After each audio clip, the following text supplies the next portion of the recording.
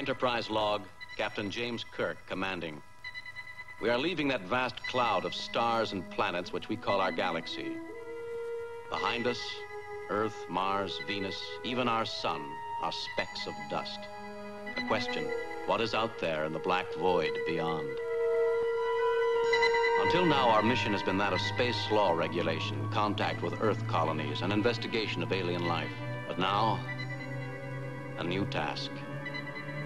A probe out into where no man has gone before.